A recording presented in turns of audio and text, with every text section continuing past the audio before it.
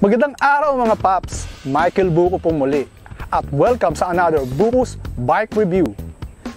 It's been 18 years since we saw the first Suzuki B-Strom 1000 at isa ito sa mga trusted ADB bikes ni Suzuki noon.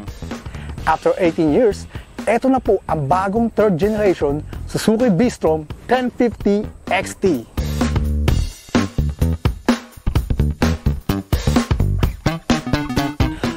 Powered by a 1050cc 4-stroke, 2-cylinder liquid-cooled engine at meron siyang 20 liters fuel tank capacity.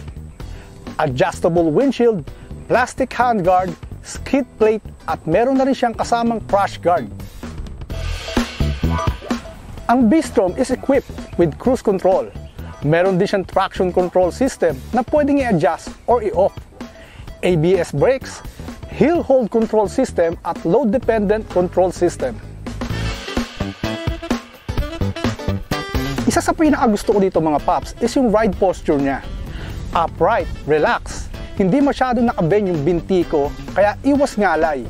Lalo na pagdating sa long ride. Comfy seats at hindi na nanakit yung puwet ko yung nagbalikan ako noon papuntang Baguio. At yung windshield niya, walang wind buffeting.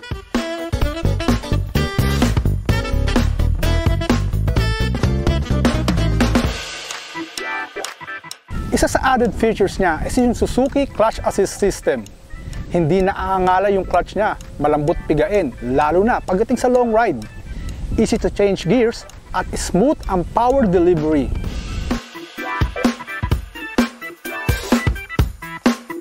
Kung meron man akong ayaw sa motor na ito, is masyado siyang head turner.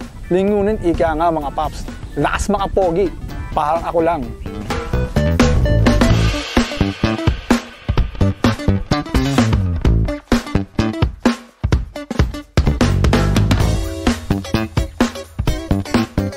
At sa mga nagtatanong nga pala kung magkano yung SRP niya, 859,000 pesos.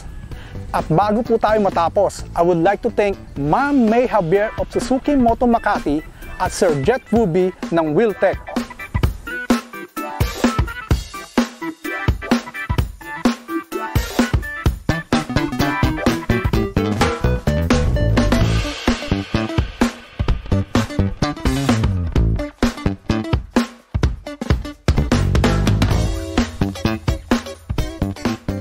Mga paps, please like and follow Michael Buko page para updated kayo sa mga susunod pa nating ride journals and review.